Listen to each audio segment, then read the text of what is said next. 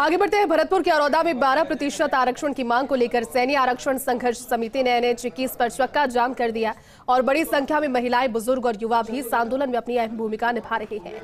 आंदोलनकारियों का कहना है कि पिछली बार जब हमने आंदोलन किया तो सिर्फ़ आश्वासन मिला दो मंत्रियों के खिलाफ आंदोलनकारियों ने खासी नाराज़गी ज़ाहिर की तो वहीं एक विधायक के खिलाफ आंदोलनकारियों में खुशी नज़र आई। इस दौरान सहमति चूँकि अब तक नहीं बन पाई है नदबई के आरोदा में सैनिक कुशवाहा आरक्षण समिति के द्वारा 12 प्रतिशत आरक्षण की मांग को लेकर नेशनल हाईवे इक्कीस पर जाम लगा दिया और नेता मुरारी लाल को छोड़ने की मांग पर अड़े रहे।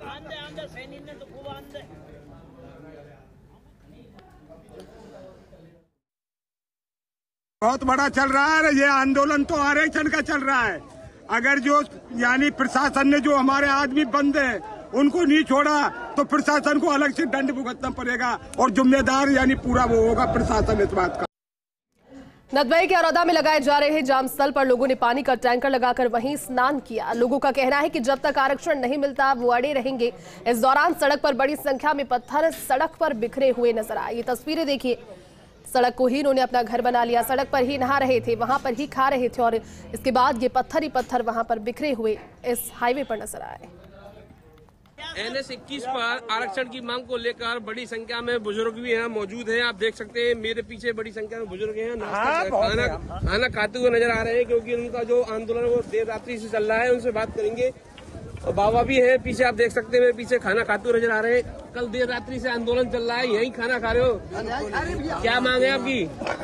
बारह परसेंट सबसे पहली मांग हमारी जो भी आंदोलन करता है जो भी हमारे मुरारी लाल बा- बाबा हैं बदन सिंह जी हैं और इनके अलावा शैलेंद्र जी हैं और बाकी के जो भी आंदोलन करता है जो सरकार ने अरेस्ट कर रखे हैं सबसे पहले उनकी रिहाई और उसके बाद वो यहाँ पर रिहा होकर आ जाएँगे। तो हमारी बारह प्रतिशत आरक्षण की जो मांग है वो जारी है। जब तक हमको बारह प्रतिशत आरक्षण नहीं मिल जाता जब तक हम इस आंदोलन स्थल पर ही डटे रहेंगे।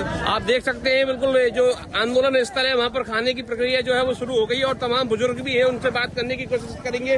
बाबा कहाँ से आए हो आप? कहाँ से आए हो? पैरसर से। पैरसर से? तो यही खाना खा रहे हो आप? हाँ, क्या मांग है आपकी?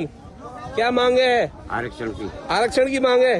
आप देख सकते हैं मेरे पीछे जो बुज़ुर्ग हैं वो यहाँ खाना खाते हुए नज़र आ रहा है। कुछ और बुज़ुर्ग हैं उनसे भी बात करने की कोशिश करेंगे और जानेंगे क्या उनकी मांग है। लगातार जैसे गुजर आंदोलन में बड़ी संख्या में बुज़ुर्ग मौके पर पहुँचे थे तो ऐसी सैनी आंदोलन में बुज़ुर्ग है उनसे बात करेंगे। बाबा क्या नाम है आपका? मेरा नाम रघुनाथ प्रसाद सैनी ग्राम बल्लभगढ़। अच्छा सैनी साहब आंदोलन बहुत बड़ा चल रहा है देर रात्रि कब्जा कर लिया आपने? हाँ बहुत बड़ा चल रहा है ये आंदोलन तो आरक्षण का चल रहा है। अगर जो यानी प्रशासन ने जो हमारे आदमी बंद है उनको नहीं छोड़ा तो प्रशासन को अलग से दंड भुगतना पड़ेगा और जिम्मेदार यानी पूरा वो होगा प्रशासन इस बात का। तो बताया जा रहा है प्रशासन की और आपके नेताओं की वार्तालाप हुई कल देर रात्रि को कलेक्ट्रेट में पप्पू प्रधान के नेतृत्व में लेकिन आपने उन्होंने बात नहीं मानी। नहीं सर हमारे वहाँ पे कोई बात नहीं थी। पप्पू प्रधान तो जाम ही नहीं लगाने दे रहे हमारे को।